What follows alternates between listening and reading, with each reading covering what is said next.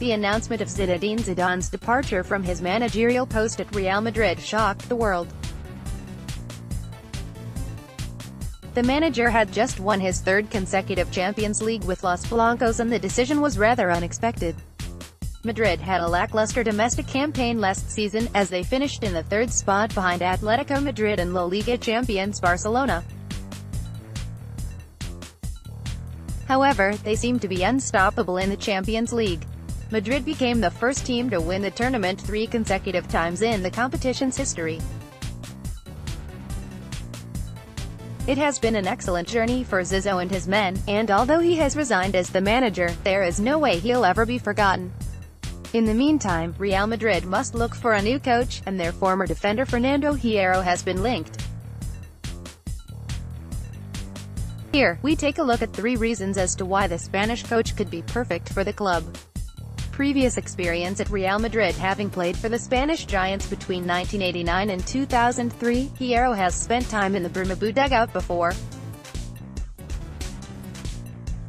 He assisted Carlo Ancelotti from 2014 to 2015, and it goes without saying that the coach is certainly not new to the prospect of working for Real Madrid.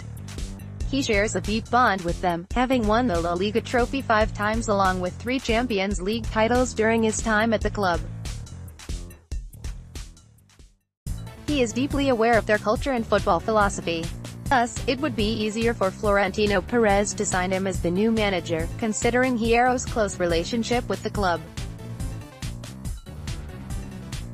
The Spanish coach would be thorough with the style of football at the Bernabeu. Hierro wouldn't be a stranger to the backroom staff and the other coaches, which will be a huge benefit for the team. When Rafa Benitez was hired to coach Madrid, his style of football and philosophy didn't go well with the club and he immediately got sacked.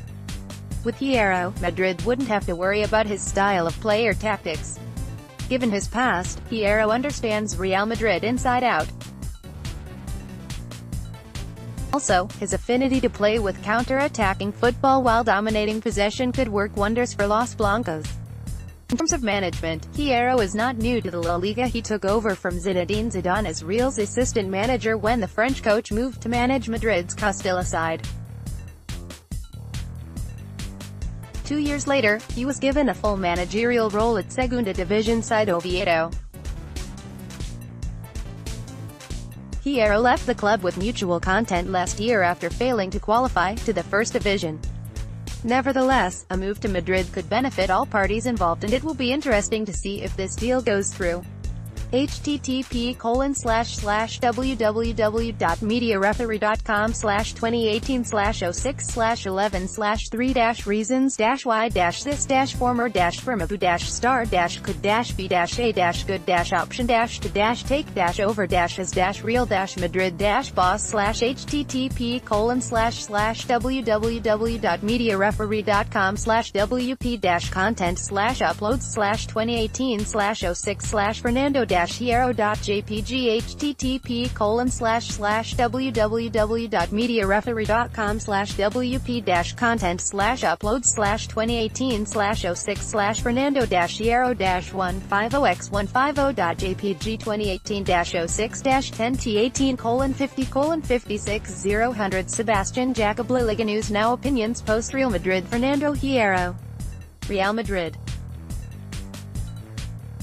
Transfer talk Zinedine Zidane The announcement of Zinedine Zidane's departure from his managerial post at Real Madrid shocked the world. The manager had just won his third consecutive Champions League with Los Blancos and the decision was rather unexpected. Madrid had a lackluster domestic campaign last season, as they finished in the third spot behind Sebastian Jacobs Abstinator 1995 at gmail.com Thor Media Referee.